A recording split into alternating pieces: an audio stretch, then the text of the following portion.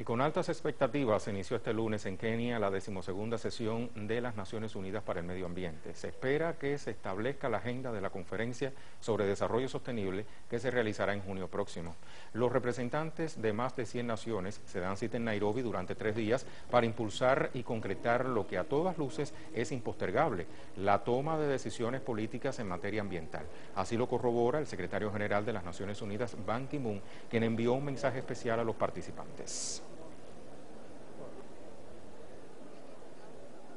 Necesitamos una salida en la conferencia que se aproxima de Río.